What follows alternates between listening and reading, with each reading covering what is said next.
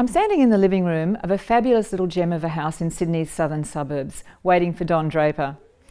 I'm not on a Mad Men set. I'm actually in a forgotten little modernist masterpiece designed by a young Harry Seidler.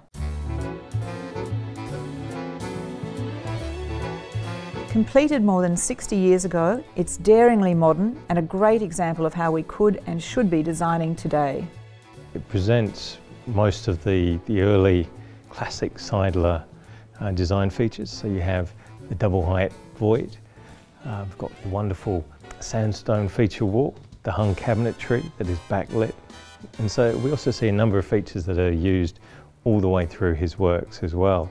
And so the use of the, the fireplace, often as a room divider, even down to the smallest details, the railings,